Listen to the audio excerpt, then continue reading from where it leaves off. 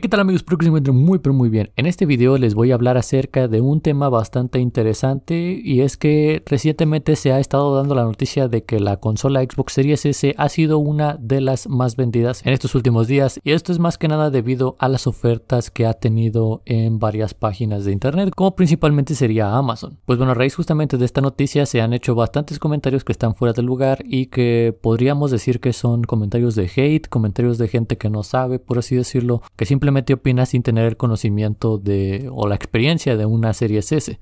Comentarios como que, por ejemplo, que la serie S es para gente que no sabe de juegos, es para pobres justamente por su precio barato que um, no vale la pena porque no tiene lector de discos que tiene mal almacenamiento. Y todos esos comentarios se han estado diciendo acerca de esta consola justamente porque últimamente está en boca de todos. Todos están diciendo oh una Xbox Series S hay que comprarla está bastante barata pues bueno justamente en este video lo que voy a hacer es mencionarles esos comentarios que se han estado diciendo para ver si es que son verdad o por completo están er-, erróneos. Pero bueno, para empezar, como les he mencionado, en estos últimos días han estado eh, disponibles varias ofertas en varias páginas de internet, como por ejemplo Amazon. Una de esas podría ser el Black Friday, el, Buen Fin por acá en México y supongo que a lo mejor en varios países tienen diferentes nombres, pero el más común, el más sonado creo que es el, el Black Friday. Pues bueno, justamente en base a estos días de ofertas, la serie S fue una de las consolas que más baratas se podía conseguir en el momento. Y es que supuestamente o oficialmente la consola vale aproximadamente 300 dólares, aunque dependiendo del país puede aumentar un poco más el precio. Pero bueno, mucha gente pudo encontrar esta pequeña consola, la serie S, por un precio más bajo de los 300 dólares. Así que definitivamente es una muy buena oferta para poder tener una consola de nueva generación. Ahora bien, justamente por este tema de que se ha estado vendiendo bastante barato, mucha gente suele decir que se vende barato porque se quieren deshacer de ella, por así decirlo, las tiendas. Como tienen tanto stock, tanto, tanta disponibilidad de esta consola se quieren deshacer de ella poniéndola más barata porque realmente no se compra. Pues bueno, en este sentido les tengo que mencionar que si hay bastante stock de esta consola es probablemente porque hasta hace unos cuantos meses o incluso hasta hace unas semanas realmente la gente no se había dado cuenta del verdadero potencial que tenía esta pequeña consola. La mayoría de ellos se iban por la Series X que pues es la, la consola con más potencia, es como la consola oficial por así decirlo, de, Xbox. Y mucha gente no se había dado cuenta de la existencia, tal vez sí se había dado cuenta de la existencia más bien de la Series S, pero no se había dado cuenta del potencial que tiene esta pequeña, este pequeño dispositivo. Y es que desde un principio estaba como que un poco desinformada la gente pensando que era o que no valía la pena la Series S porque se recortaba bastante en varias especificaciones. Obviamente tiene menor potencia gráfica, tiene menor almacenamiento, no cuenta con lector de discos, así que en un principio podría parecer que no vale la pena las series. Pero justamente en estos últimos meses, en estos últimos días, semanas, se ha estado hablando un poco más acerca de esta mm, consola y aquellos que la han podido comprar, que la han podido probar, han estado hablando maravillas sobre ella. Así que esos comentarios se han estado esparciendo por todo internet, por lo que cada vez la gente se da cuenta de que es una consola que vale la pena por su precio, principalmente por su precio, a pesar de que tenga poco almacenamiento, que no sea lo mismo en poder de procesamiento a la Series X o que no cuente con lector de discos, tiene ventajas muy interesantes. Una de ellas es que no necesitamos comprar juegos físicos, todo lo tenemos de manera digital y en este caso una de las mayores ventajas de esta consola es el Game Pass o una de las mejores opciones para combinar esta consola es el Game Pass que nos permitiría pues disfrutar de una gran biblioteca de juegos sin la necesidad de comprarlo, simplemente pagando una suscripción que pues es relativamente barata. Podríamos comprar esta suscripción de Game Pass Ultimate con una suscripción de, de Netflix. Así que si a lo mejor en algún momento nos cansamos de ver películas en Netflix, podemos dejar de pagar esa suscripción y pagar la suscripción de Xbox Game Pass. Así que pues en ese sentido es una muy buena opción para comenzar a jugar juegos de esta nueva generación y de generaciones anteriores de una forma bastante barata. Así que ese es el principal detalle por el cual yo creo que se ha estado comenzando a vender bastante y que hasta hace unos cuantos meses no se vendía, porque la gente no sabía el verdadero potencial de esta consola.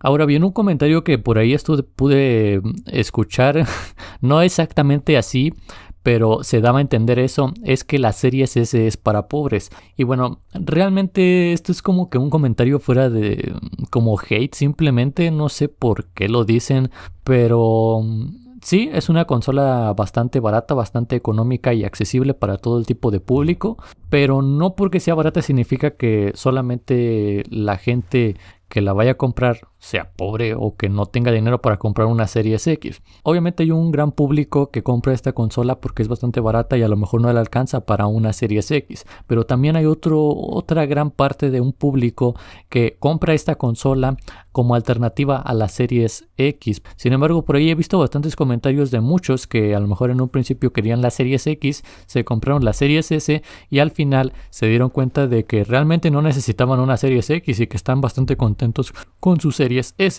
Aunque esto depende de muchos factores, pero realmente este comentario creo que está fuera de lugar. Es simplemente como por querer denigrar a alguien por tener una consola un poco más económica y no tener la consola más cara. Pero no porque sea una consola más económica no significa que no vamos a poder divertirnos horas y horas. Ahora bien, otro comentario que por ahí también he estado viendo es que se dice que esta consola es para tontos porque ¿quién pagaría una suscripción? Es mejor comprar juegos y pues que sean tuyos en lugar de rentarlos por así decirlo. Y esto y en este sentido creo que aquellos que dicen eso son personas que están casados con el formato físico. Y es que bueno, hace bastante tiempo el formato físico era la única opción. Y sí es una muy buena opción para coleccionar juegos, para tener tu colección ahí y poderla ver eh, físicamente. Pero los tiempos cambian y ahora está tomando más relevancia el formato digital. Sí, por un lado tenemos ventajas con el formato físico, por otro lado también tenemos ventajas con el formato digital. El formato físico, por ejemplo, tiene la ventaja de que el juego es nuestro, lo tenemos en nuestro hogar, eh, tenemos la caja y todo lo que representa, por así decirlo, tener esa caja ahí de colección. También además de esto, pues podemos revender los juegos en caso de que ya no nos gusten, de que necesitamos dinero por cualquier otra cosa pues ese juego físico lo podemos vender.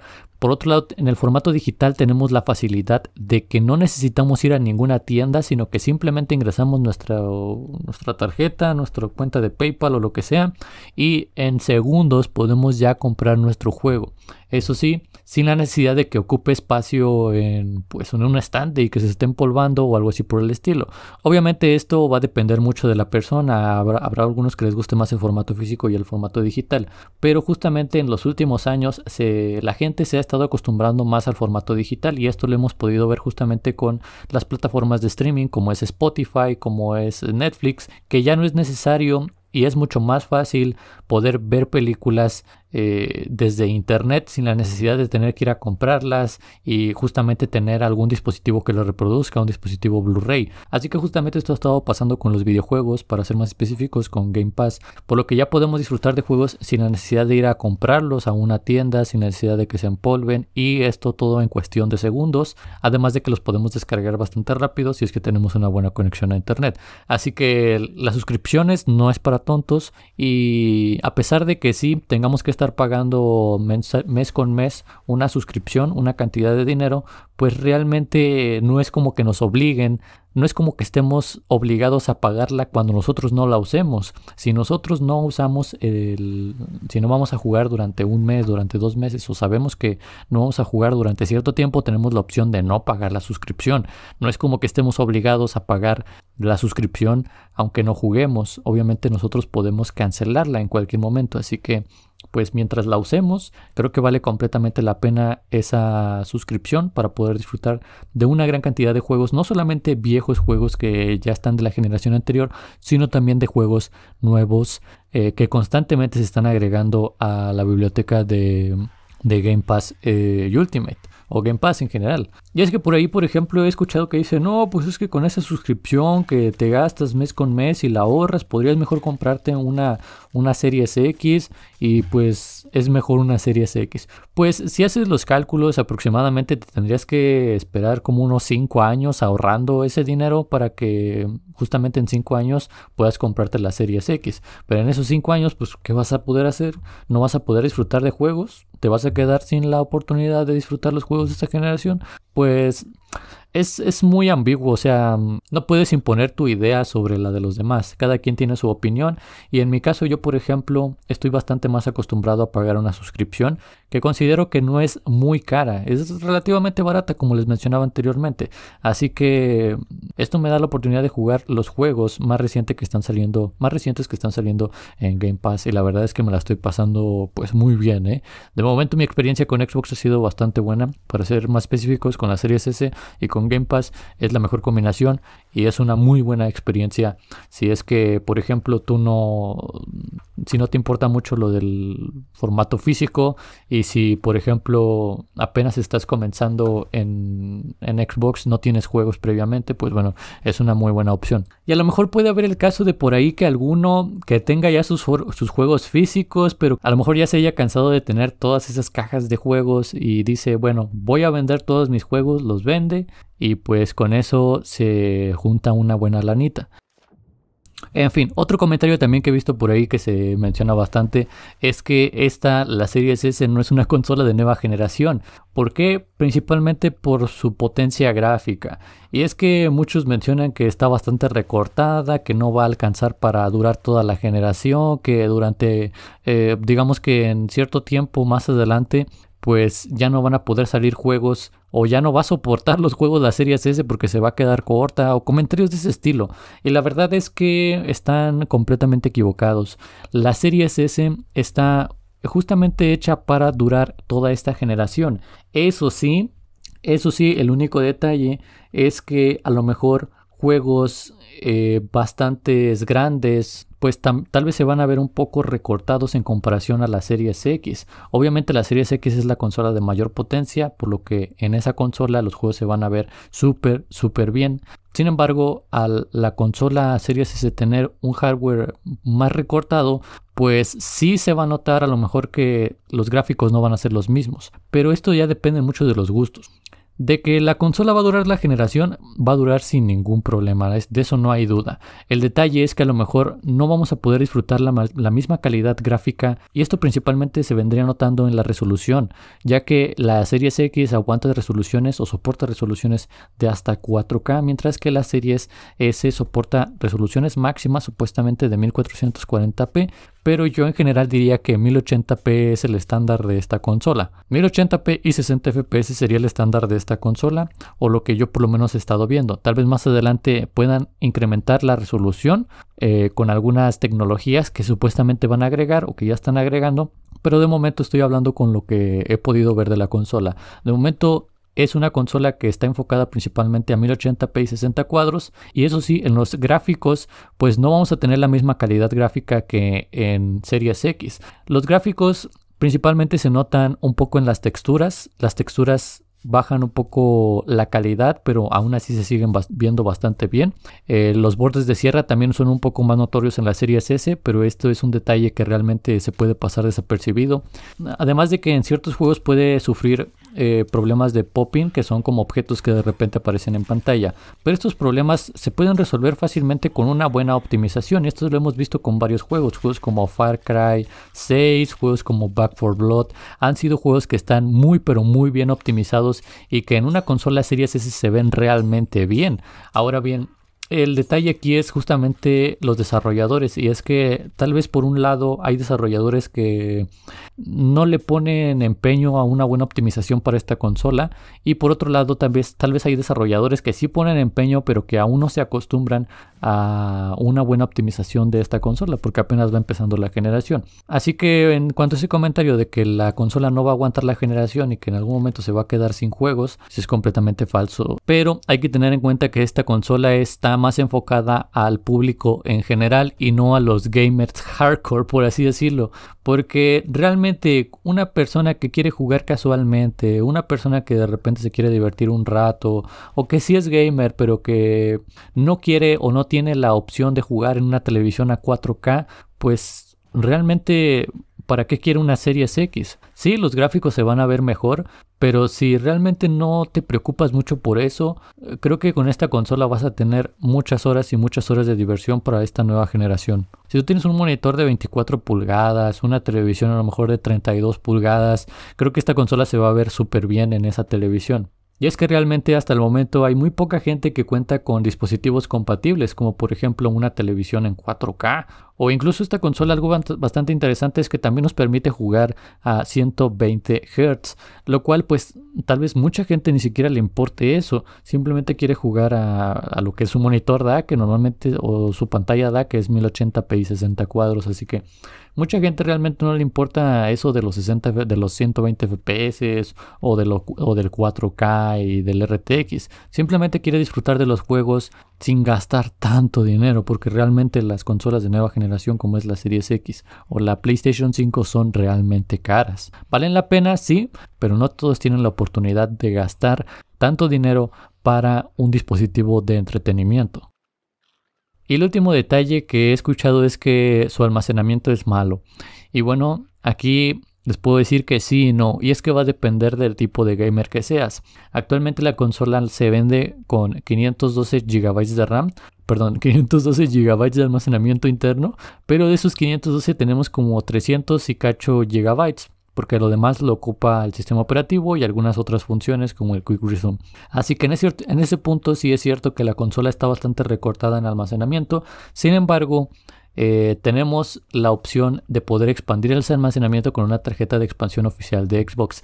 Ahora bien, lamentablemente estas tarjetas de expansión pues son bastante costosas, incluso cuestan más que lo que una serie S si es que consigues una de un terabyte, así que de momento no es una opción viable. Sin embargo, hay una alternativa que es utilizar un disco duro externo, esa es la mejor alternativa hasta el momento para la serie S.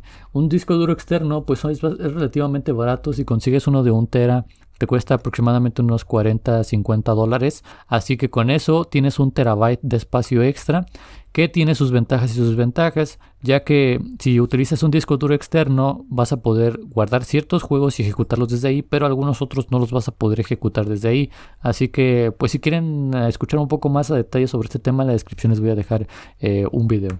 Pero bueno eh, eso sí es cierto de que la consola tiene poco almacenamiento, pero si realmente tú eres una persona que va a jugar un juego, una vez que acaba ese juego, eh, pues ya no quieres saber nada de ese, lo desinstala e instala otro nuevo, pues realmente ahí no vas a tener ningún problema. Ahora bien, también hay gente que le gusta tener todos sus juegos guardados tal vez porque su internet no es muy bueno, así que tal vez ahí sería o habría un problema. Pero como les voy a mencionar existe esta uh, opción del disco duro externo. Y tal vez en un futuro los precios de estas tarjetas de expansión bajen sus costos y ya podemos obtener ese almacenamiento oficial mucho más barato. Pero de momento sí es, es un problema, sí, la verdad sí es un problema pero como les menciono, depende mucho del tipo de jugador que seas. En mi caso, para mí no es un problema porque como les voy a mencionar, yo soy de esos jugadores que juegan un juego, después eh, lo desinstala e instala otro y no es como que tenga al mismo tiempo instalados 50 juegos. Pero bueno, si es que quieren saber más detalles sobre esta consola, la serie S, pues en la descripción pueden suscribirse al canal ya que aquí justamente hablo sobre este tema de la serie X. Últimamente lo he estado enfocando bastante porque me parece que es una muy buena opción para eh, ser gamer en esta época, una opción bastante barata, una opción que nos permite disfrutar de los juegos de última generación, eh, pues como les voy a mencionar, con un costo relativamente bajo y con algunas otras ventajas que justamente les voy a estar hablando en este canal con más videos. Pero bueno, espero más que nada que les haya gustado, que les haya servido este video. Si es así, ya saben que pueden dejar su like, me ayudaría bastante. Y si es que tienen alguna duda sobre esta consola, la pueden dejar ahí abajo en los comentarios. Pero bueno, nos vemos en la próxima. Gracias por ver este video y adiós.